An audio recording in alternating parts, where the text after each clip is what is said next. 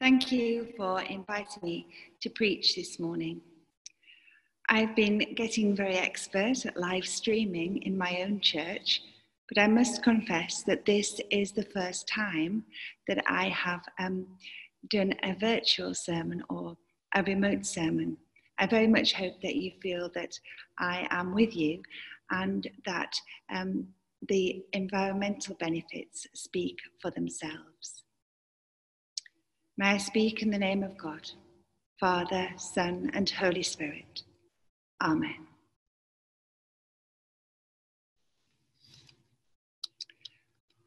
What life is this, if full of care, we have no time to stand and stare?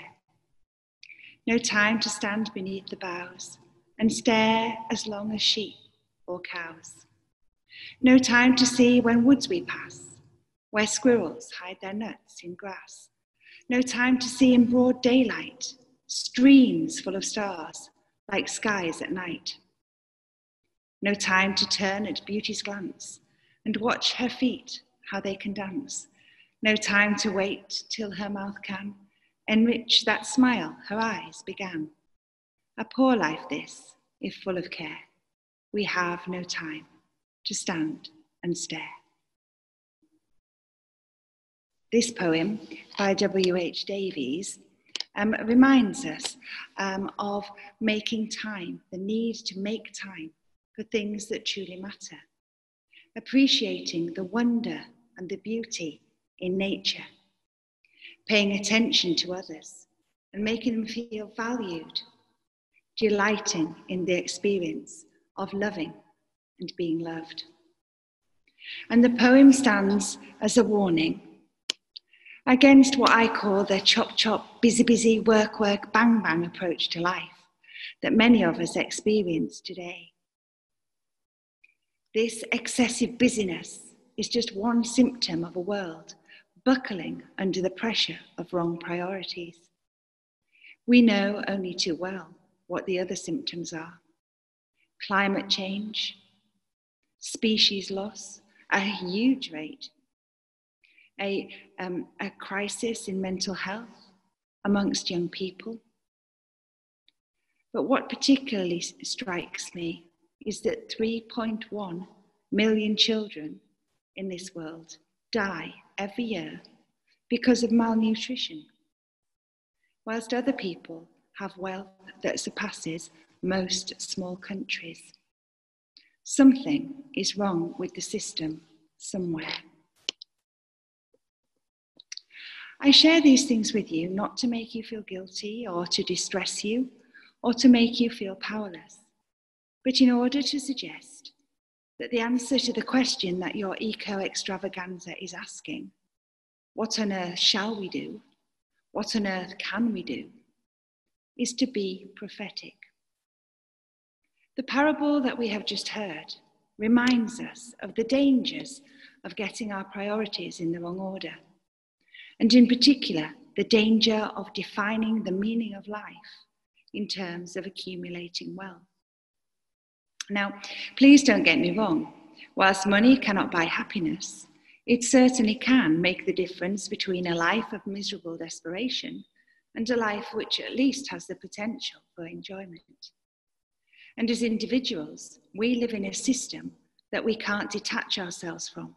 So please don't feel guilty about saving for the future um, or that little nest egg that you need to feel comfortable. But in our world, in our society today, we would have seen the man who's building his bigger barn as someone admirable, a goal orientated, ambitious man doing well in life. But according to God, he's a fool.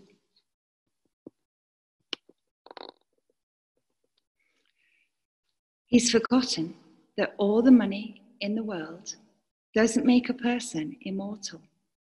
He has lived his life in the pursuit of wealth that he never gets to enjoy. We think he's admirable. God thinks he's a fool. God's ways stand in marked contrast to the ways of the world. And when this is the case, and when we realize that this is the case, the job of the church is to be prophetic. It means we need to warn society that it's getting things badly wrong and what the consequences of the errors might be. So, what does this parable say to a world which is predicated on unlimited, unsustainable, and ever increasing economic growth? Even though we know that there are limits, and even though we know that we can't keep going on like this. What does this parable say? In a world where carrying on creating and distributing, or not distributing, wealth the way that we are, is causing suffering in the present. Remember those 3.1 million children, people losing homes and livelihoods, people forced into migration because of climate change. And we're offering a bleak future for the generations to come. There's something called intergenerational justice. Why are we creating the wealth in the first place?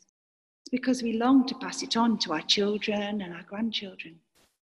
But what good is all the money in the world if the world has been wasted and destroyed? And if when they stop to stand and stare, they see only destruction instead of beauty. We need to be living and acting and showing and telling, and maybe even remembering those 3.1 million children, screaming and shouting that this has to stop, that we have to think again, that yes, we know that we've got, we haven't got all the answers, but carrying on the way that we're carrying on certainly isn't one.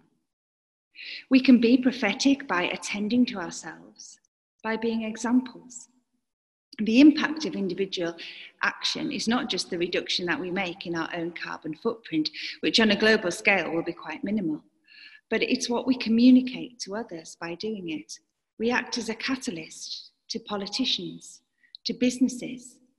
We are exercising our right as consumers. We are saying, do something and we stimulate conversation. We cause other people to think about their actions, and it snowballs.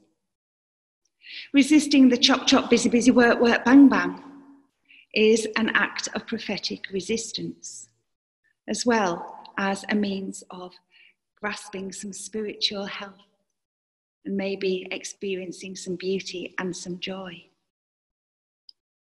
Pray and fasting for the climate writing to MPs, writing to newspapers, challenging people when we think that they've got it wrong.